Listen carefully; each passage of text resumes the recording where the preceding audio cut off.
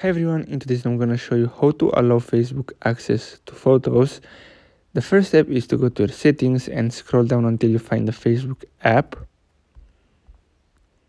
Tap on it and then tap on photos and then uh, uh, tap on all photos and that's it. I hope you found this video helpful. Thanks for watching.